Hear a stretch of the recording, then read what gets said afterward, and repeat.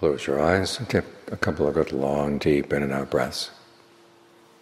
Notice where you feel the breathing in the body and focus your attention there. Watch it as the breath comes in, watch it as the breath goes out, and ask yourself how long is a good breath? Is long breathing good or is short breathing better?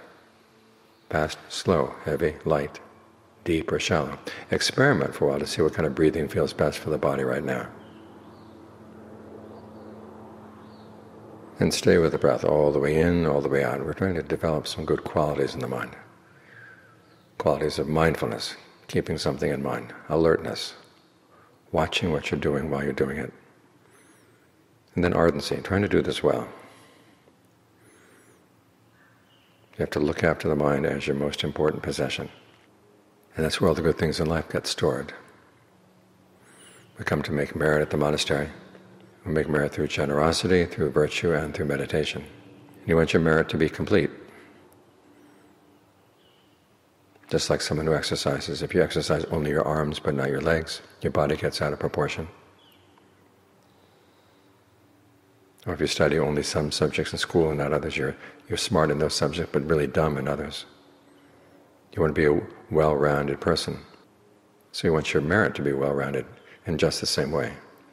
You already gave donations, you're sitting here, you're not doing anything to break the precepts. The important thing, though, is the qualities you develop in the mind because the mind is where you keep all the merit that you've made. Someone once came to see Ajaan Fuang for the first time, and he asked her, where have you made merit? And she started naming the different monasteries she'd merit, made merit at. He said, why don't you make merit at your mind? Because merit is a quality of the mind. The activities of generosity, the activities of virtue, activity of sitting here with your eyes closed, okay, those are simply activities that help nurture merit, but the real merit is in the mind. It's a sense of well-being that comes from knowing you've done something good, something harmless. You've looked for happiness in a way that doesn't harm anybody at all. That kind of happiness is rare in this world because so many different ways of looking for happiness cause problems. You either hurt yourself or you hurt other people. But this kind of merit, this kind of happiness, doesn't harm anybody at all.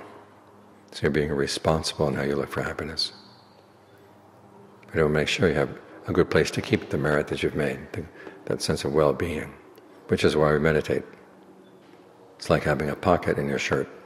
You want to make sure the pocket is well sewed, so that things you store in the pocket don't come leaking out. But for the most part, our minds are not like that. Our minds are full of leaks. Go leaking out the eyes, ears, nose, tongue, body thoughts of the past, thoughts of the future. And our goodness seems to disappear, disappear, because we don't have a good place to keep it. But if you put money in your pocket and it leaks out, can you blame the money? The money is genuine money. The question is, do you have a good place to keep it? If there's a big hole in the pocket or you haven't sewed it up properly, then no matter how much genuine money you've got, it just keeps leaking away, leaking away. So make sure you have a good place to keep your merit right here at the mind. So every time you think about the good you've done, in your generosity, in your virtue, in your meditation, it really is uplifting and energizing for the mind. Because the happiness of merit is not like the happiness of the world. So many times the pleasures of the world, you think about the things you did to get them, and sometimes it wasn't all that skillful. And even if it was a good pleasure, it doesn't last very long. So the memory of that kind of pleasure is not necessarily guaranteed to be a, a happy memory, but the memory of the merit you've made, that's always happy. So develop your powers of mindfulness so you can keep these good things in mind. So you have a good place to keep your merit so that when you need it, it'll be right there. You don't have to go searching around in other places for it. It's to be right here at the mind, right where you need it.